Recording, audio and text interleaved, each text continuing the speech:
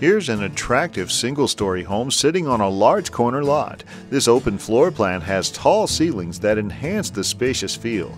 The master bedroom is separate from the others. The large lot has a backyard with tons of space for outdoor living, and the yard includes spaces for RV parking. There's also a two car garage. This is a lighted, bright home with so much to offer. It's up to date and move in ready. Enjoy a private showing by calling Zachary Walkerlieb.